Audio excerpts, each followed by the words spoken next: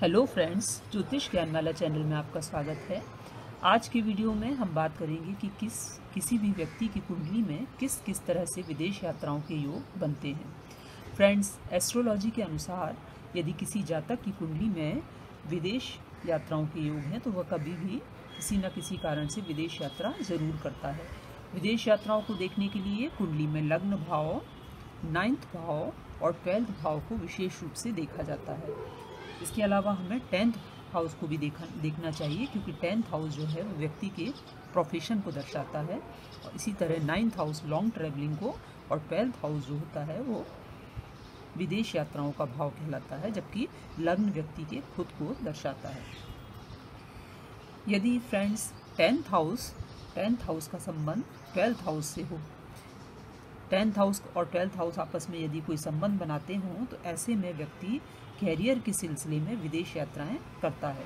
इसमें यदि लग्नेश भी इसमें संबंध बनाए, यानी कि या लग्नेश, टेंथ हाउस और ट्वेल्थ हाउस, इन तीनों का अगर आपस में संबंध बनता हो तो ऐसे में विदेश यात्राओं के काफ़ी स्ट्रॉन्ग योग बनते हैं।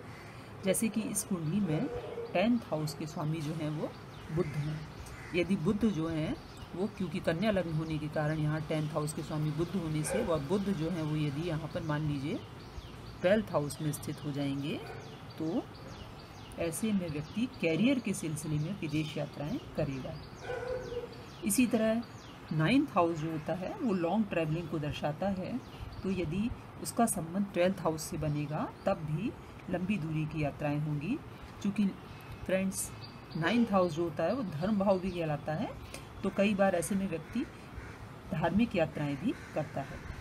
यहाँ पर टेंथ ट्वेल्थ हाउस जो है, उसके स्वामी मंगल देव हैं। मान लीजिए मंगल देव यहाँ पर नाइन्थ हाउस में आकर स्थित हो जाएँ तो ऐसे में व्यक्ति लंबी दूरी की यात्राएँ या विदेश यात्राओं की उसकी पॉसिबिलिटीज़ बनाता है। इसी तरह फ्रेंड्स जो लग्न है, लग, लग्न जो होता है, वो व्यक्ति के स्वयं को दर्शाता है। यदि लग्न का संबंध, लग्न लग्न या लग्नेश का संबंध ट्वेल्थ हाउस से हो जाए तो ऐसे में व्यक्ति के विदेश में सेटलमेंट के योग बनते हैं। जैसे कि यहाँ पर लग्नेश जो हैं वो धनु लग्न की कुंडली होने के कारण लग्नेश जो है यहाँ पर बृहस्पति हैं। मान लीजिए बृहस्पति यहाँ पर, बृहस्पति यहाँ पर ट्वेल्थ हाउस में स्थित हो जाएँगे, गुरु या बृहस्पति के ट्वेल्थ हाउस में स्थित होने के कारण यहाँ पर व्यक्ति के विदेश में सेटलमेंट के योग वो दर्शाएँगे। इसी तरह जो फोर्थ हाउस होता है, ये वाला हाउस फोर्थ हाउस वो व्यक्ति के घर को दर्शाता है। तो यदि फोर्थ हाउस शुभ स्थिति में होता है, यानी कि फोर्थ हाउस के जो स्वामी हैं, वो यदि केंद्र भावों में या फिर त्रिकोण में स्थित हों तो ऐसे में व्यक्ति के घर के पास ही ग्रोथ होती है। वहीं यदि फोर्थ हाउस के स्वामी जो हैं या फोर्थ हाउस पीड़ित स्थिति में हो तो ऐसे में व्यक्ति की ग्रोथ जो है वो घर से दूर होती है। यदि फोर्थ हाउस का स्वामी यहाँ पर एट्थ हाउस में स्थित हो जाए तो व्यक्ति फिर अपने घर से काफ़ी दूर रहता है। इसी तरह यदि फोर्थ हाउस के स्वामी जाकर ट्वेल्थ हाउस में स्थित हो जाए, जैसे कि यहाँ पर मीन राशि होने के कारण फोर्थ हाउस में मीन राशि है तो मीन राशि के स्वामी भी बृहस्पति या गुरु ही होते हैं तो गुरु जो है यहाँ पर ट्वेल्थ हाउस में स्थित हैं। तो ऐसे में व्यक्ति की विदेश सेटलमेंट के योग जो है, वो बढ़ जाते हैं। फ्रेंड्स इसी तरह कुंडली का जो सिक्स हाउस होता है, वो जॉब को दर्शाता है।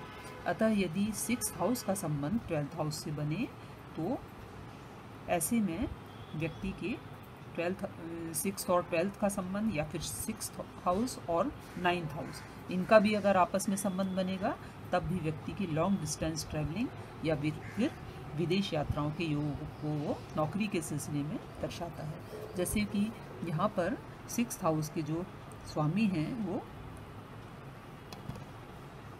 वृषभ राशि होने के कारण यहाँ पर शुक्र देव होंगे। अगर शुक्र देव मान लीजिए यहाँ पर स्थित हों तो सिक्स हाउस और ट्वेल्थ हाउस इन दोनों का आपस में संबंध होने से व्यक्ति जॉब के सिलसिले में यहाँ पर विदेश यात्राएँ करेगा इसके अलावा फ्रेंड्स, राहु को भी, राहु को भी विदेशी प्लैनेट की तरह देखा जाता है। तो राहु की दशाओं में और अंतरदशाओं में जो है वो व्यक्ति की विदेश यात्राओं की पॉसिबिलिटीज़ बनती है। इसी तरह कुंडली का सेवन्थ हाउस जो होता है, वो भी विदेश यात्राओं को दर्शाता है। अतः यदि सेवन्थ हाउस जो है, उसका संबंध ट्वेल्थ हाउस से बने तो ऐसे में व्यक्ति आफ्टर मैरिज कई बार विदेश यात्राएँ करता है और सेवन्थ हाउस चूँकि बिज़नेस का हाउस भी कहलाता है तो ऐसे में कई बार व्यक्ति बिज़नेस के सिलसिले में विदेश यात्राएँ करता है। इसी तरह कुंडली का फिफ्थ हाउस जो होता है, वो एजुकेशन का हाउस कहलाता है। तो यदि इसका संबंध फिफ्थ हाउस का संबंध ट्वेल्थ हाउस से बनता है, तब भी व्यक्ति एजुकेशन के लिए विदेश जाता है। फ्रेंड्स, कुंडली का एट्थ हाउस जो होता है, ये भी यात्राओं को दर्शाता है। तो इस तरह हमें विदेश यात्राओं के लिए बारीकी से इन सभी हाउस की स्टडीज़ करनी चाहिए। तभी हमें किसी नतीजे पर पहुँचना चाहिए। तो फ्रेंड्स, ये तो थी कुछ जानकारी विदेश यात्राओं से संबंधित। मिलते हैं अपने अगले वीडियो में। कुछ अन्य महत्वपूर्ण जानकारियों के साथ फ्रेंड्स वीडियो को लाइक एंड शेयर ज़रूर करें। और चैनल को ज्योतिष, हस्तरेखा और वास्तु से संबंधित जानकारियों के लिए सब्सक्राइब ज़रूर करें। Thank you so much